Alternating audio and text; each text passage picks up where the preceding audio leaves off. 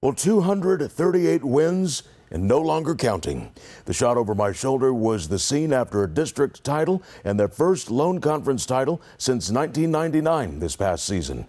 However, Schuyler County girls basketball head coach Thomas Kirkland announcing his resignation. This following public pushback on comments that he made involving transgender athletes in sports. Our Nick Todorovich with the latest tonight on this developing story. During last month's legislative session, Missouri lawmakers passed a bill that would prohibit most students' ability to play sports that don't align with the biological sex listed on their birth certificate. The bill caused controversy statewide. We reached out to local coaches for their reaction. Schuyler County girls basketball coach Thomas Kirkland agreed to go on camera with us and shared these thoughts on May 17th. I think we welcome those people with open arms.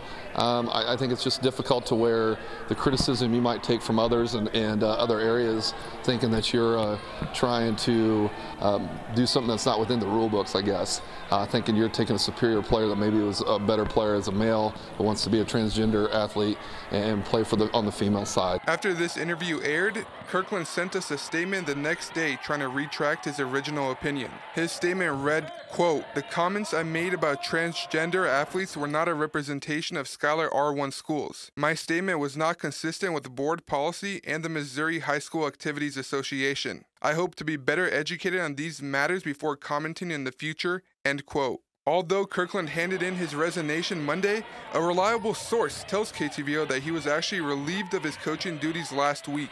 Questions are now being raised on whether his comments on transgender athletes led to his departure. When we compared his original statement with Schuyler County's transgender policy, the two were compatible.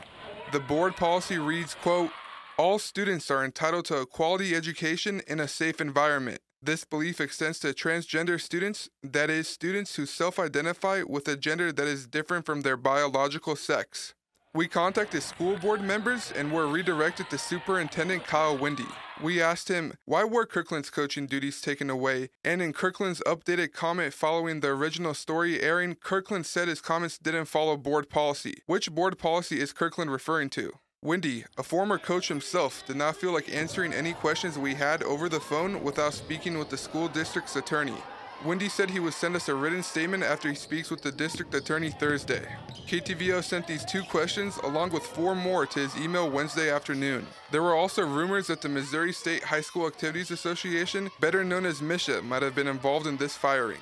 But I spoke with MSHSAA Communication Director Jason West, and he said he doesn't believe this was true. He didn't think Kirkland's quotes violated any MSHSAA bylaws. To recap, we don't know why Kirkland's coaching duties were taken away.